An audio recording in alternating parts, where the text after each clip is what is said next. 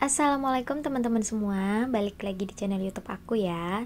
Nah, hari ini aku lagi ada di salah satu wahana ice skating yang ada di Kota Palembang. Rencananya hari ini aku mau main ice skating, tapi jujur aku takut karena aku belum pernah main ice skating sama sekali. Yaudah deh kita coba aja ya gimana nanti kalau aku main ice skating.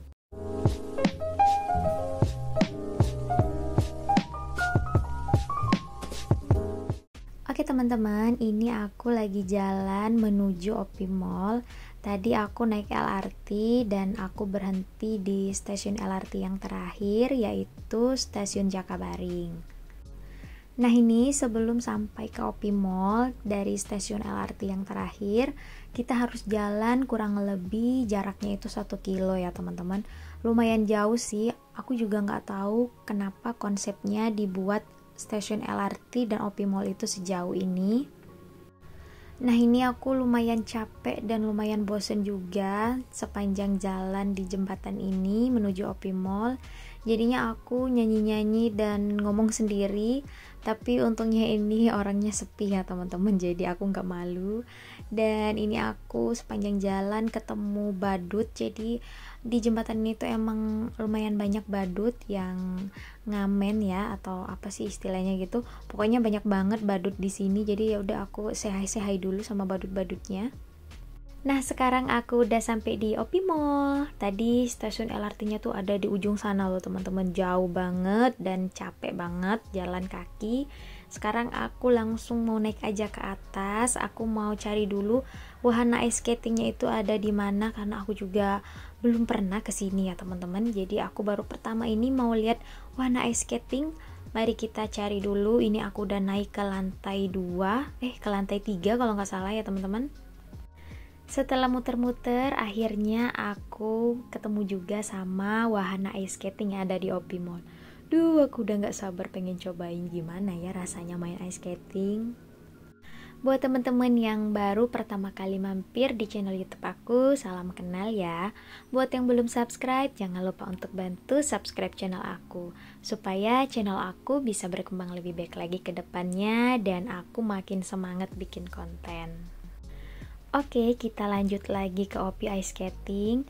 Nah, ini waktu aku dateng, aku datengnya itu agak pagi, jadi emang gak terlalu ramai dan ini termasuk sepi ya teman-teman.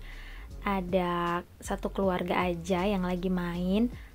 Di bagian dalam arena ice skating juga ada penjaganya. Jadi buat kita yang baru pertama kali main atau belum pandai main ice skating, itu pasti bakalan dibantu dan dipandu sama penjaganya. Untuk tiket masuk ke arena ice skating ini mulai dari 100 sampai dengan 125 ribu. Kalau yang udah pandai main ice skating kayak yang di TV itu loh teman-teman, duh kayaknya enak banget ya bisa main ice skating kayak gitu. Nah ini dari tadi aku tungguin kayaknya belum ada perempuan yang main ice skating ada sih tapi anak-anak kecil ya teman-teman. Jadi aku agak malu kalau mau coba main.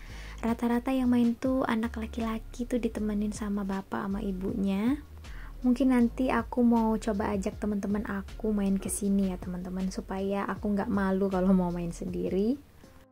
Buat teman-teman yang belum pandai main ice skating, di sini juga disediakan alat bantu yang bentuknya kayak ikan lumba-lumba ini bisa kita gunakan. Terus aku lihat itu ada satu anak perempuan yang kayaknya udah pandai banget main ice skating. Uh, kayaknya seru banget ya lihat dia muter-muter.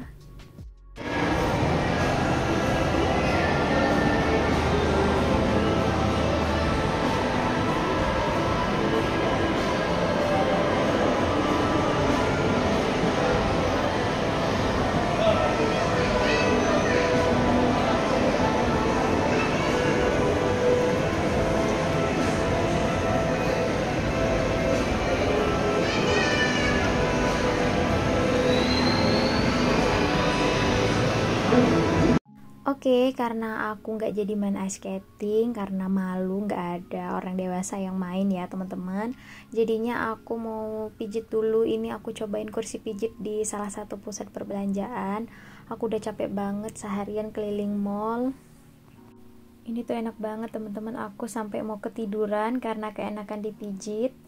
Terima kasih ya teman-teman udah ngikutin kegiatan aku hari ini.